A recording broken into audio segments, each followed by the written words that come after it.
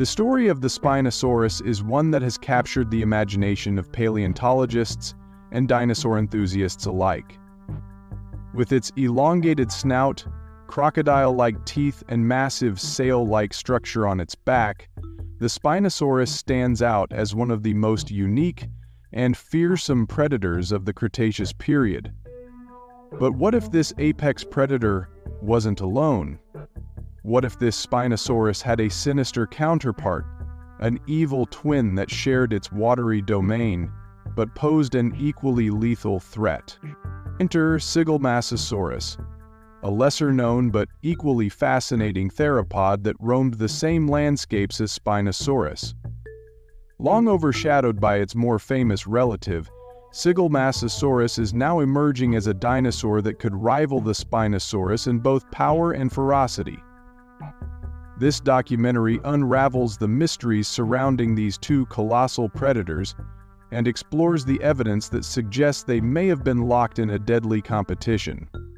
Spinosaurus aegyptiacus, the lizard of the spine, dominated the lush river systems of North Africa around 100 million years ago measuring up to 50 feet in length and weighing several tons, it was larger than the legendary Tyrannosaurus rex. Its elongated jaws, filled with conical teeth, were perfect for snatching fish, and its paddle-like tail made it a formidable swimmer. This semi-aquatic predator thrived in a unique niche, feeding on giant prehistoric fish and other aquatic creatures. The sail on its back, though still debated by scientists, may have been used for thermoregulation, display, or even aiding in swimming. Spinosaurus was undoubtedly a master of its environment, or so we thought.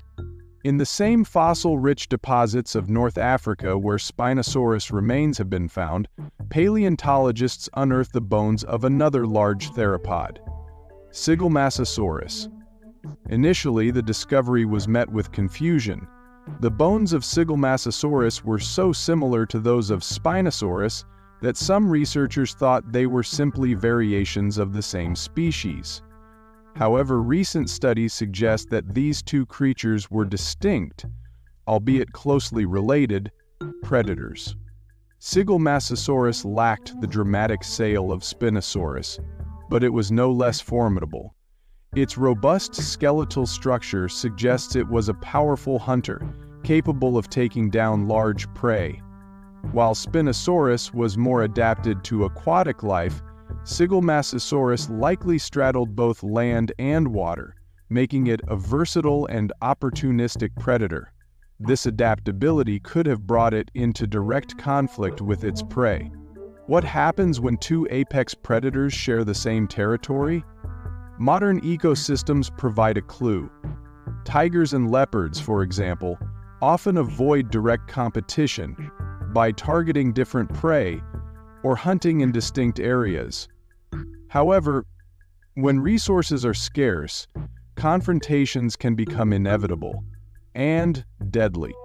The fossil record suggests that the river systems of Cretaceous North Africa were teeming with life.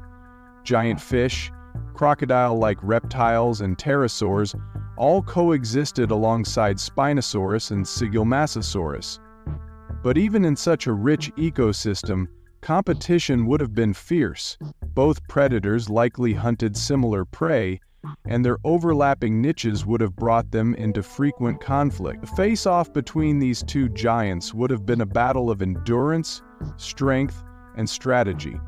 Despite the tantalizing evidence of their coexistence, many questions remain.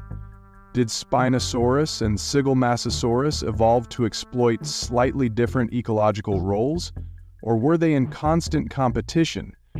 Could they have engaged in direct combat, or did they avoid each other whenever possible? The answers may lie in further fossil discoveries. Teeth marks on bones, overlapping footprints, or even healed injuries could provide clues about how these predators interacted. Each new find adds another piece to the puzzle, painting a clearer picture of life in the Cretaceous rivers. The story of Spinosaurus and Sigilmassasaurus reminds us that the prehistoric world was far more complex than we once imagined.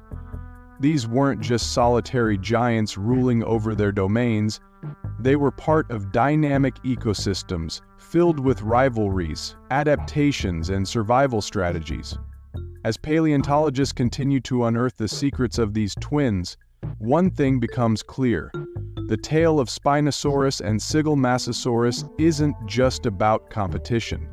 It's a testament to the incredible diversity of life that once thrived on our planet, and a reminder of how much there is still to discover. So, was Sigilmassasaurus truly the evil twin of Spinosaurus? Perhaps. Or perhaps it was simply another chapter in the endless story of evolution, where survival often hinges on outsmarting the competition. One thing is certain, these two giants have left an indelible mark on the history of life on Earth.